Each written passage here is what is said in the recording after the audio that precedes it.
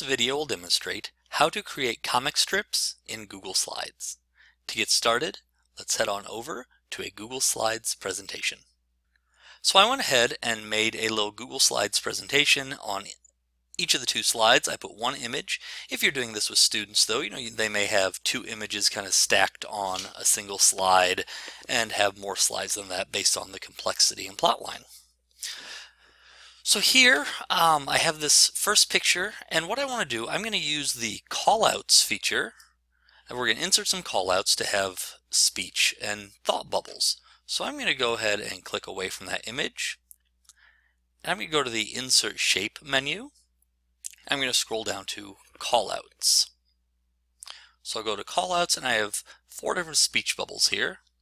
So I'm going to go ahead and enter this, click on this cloud callout and I'll draw that kind of how we want it to be drawn.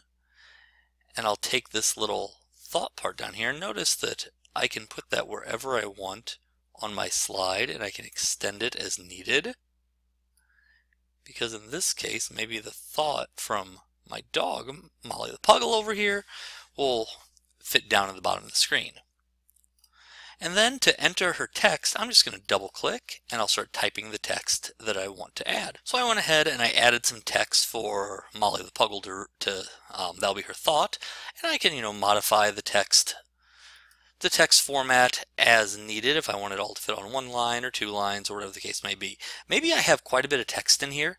I can always lengthen the thought bubble to get more text to fit on one line if that's something you really want to do. Now that I've put in a thought bubble for the dog, I'm going to go ahead and insert one for my daughter as well. I'm going to click Shapes, Callouts, and then I'm going to pick that same cloud callout uh, to imply that she's just thinking this. So I'll drag it a little bit wider because she's going to have a little bit more to think here. Then I'll extend these bubbles so it's obvious it's coming from her and we'll go ahead and type the text that my daughter's going to say. Now that I've went ahead and put her text in here, um, one thing you might want to do on your comic strips is change the background. We're going to click background and we're going to change the background color from white to black. And then we're going to go ahead and hit add to theme so that is applied to all slides in this slideshow. And hit done so then you'll see both slides have the same background color.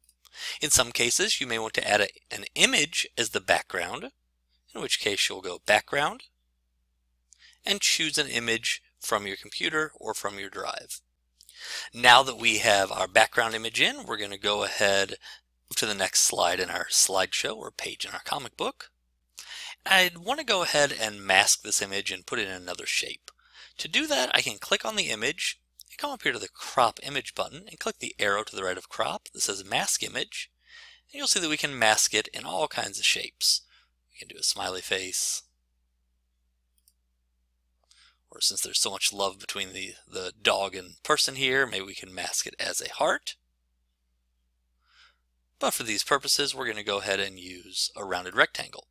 You can learn more about editing images in Google Slides by watching my video on that topic and by clicking the link on your screen right now. So sometimes in our comic strips, um, you'll have a little kind of text prompt. So we're going to put one of those in with a little rectangle shape. Now we're going to go ahead and put one more thought bubble in our comic strip. I want to make sure everyone knows this is coming from the dog, so I'm going to drag out these little speech bubbles so that it's pretty clear they're coming from Molly the Puggle and not Juliana. And we'll go ahead and double click in that speech bubble to type out our text. And now I have finished up my comic strip. Um, if you have assigned this to Google Classroom, students will be able to submit it through Classroom or share it with you via Google Drive. This has been a brief demonstration on how to create comic strips using Google Slides.